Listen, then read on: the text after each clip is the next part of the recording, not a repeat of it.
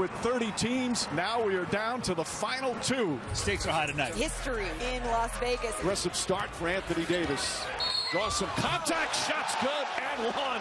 Blocked by Davis. Anthony Davis is just dominating the game on both ends. Reaves drives, left-handed finishes. Got it going right now here in the second. And that will end the first half. Pacers down by five. Five points, we good, man. We ain't played our half yet. Mathurin gets it, gets it off in time, and puts it in. Big bucket for the Pacers. Toppin a three. It's good. Look at this guy again. Mathurin sidestep, layup is good. Three-point game. Halliburton to McConnell. McConnell, the layup blocked by Davis. Reddish down the other end, throws it down. Dominant defense from Davis, does it again.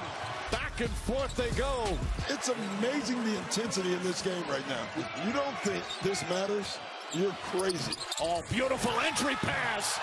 And Davis the flush. Largest lead of the game after the Pacers had cut it to three. Pass inside. Davis with the finish. A spectacular performance from Anthony Davis.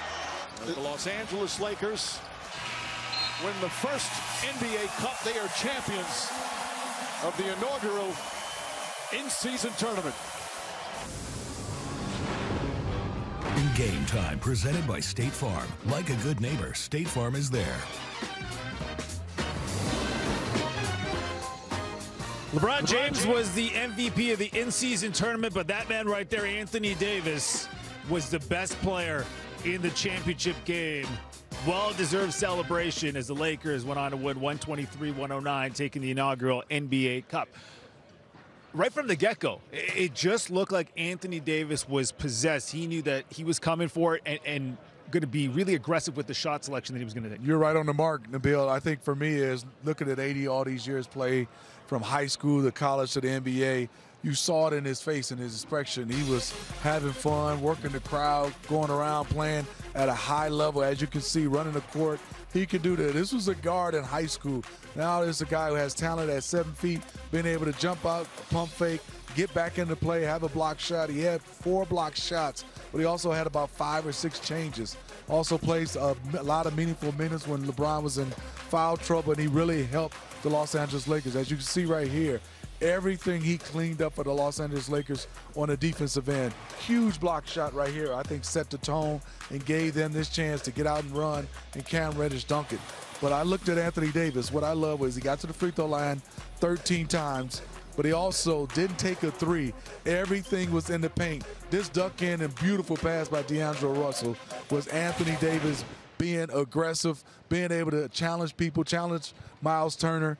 He was a man on a mission. You know, it's interesting because Tyrese Halliburton was talking earlier, and he was talking about Anthony Davis and the presence that he had defensively. And then when Anthony Davis, we heard him talk uh, with LeBron James at the podium, that's the first thing he mentioned too. Wasn't the points or the rebounds; it was being an anchor on defense. Well, I think when he's an anchor on defense, that makes him aggressive. And then when he's aggressive, he comes out on the offensive end. He can just play. I think for right now, it was one of his best games I've seen him play in a long time because he was just letting it flow. He wasn't thinking. And I said it best: if you see Anthony Davis smiling, yeah. showing emotion, he is locked in and ready to go. I mean, he played a terrific game. I mean, these Pacers were scoring 132 points per game on average in this tournament. They get 109 in this one. They shoot a real low percentage, 37%, 25 from three. I mean, these are numbers we just don't see from this Indiana team very often. Not at all. And I think the one thing was the game plan of Darvin Ham and his coaches, also the execution for some guys, Cam Reddish, Vanderbilt, Anthony Davis on pick and rolls. He was assigned to double team uh, Tyrese Halliburton a lot of times, and he slid his feet, being able to control the basketball, and then got out of it and been able to get back down there. Usually it's hard to be on that three-point line, yeah. to double team a point guard, and then you have to sprint back down and get the rebound, and he did that. LeBron James got into some foul trouble in that first half, but then again, you look at the numbers and, and the way he played towards the end of the game, and I mean, he, he was a man possessed also. It was this entire tournament. Um, if he didn't get in foul trouble, he had 35 40 yep. tonight as well.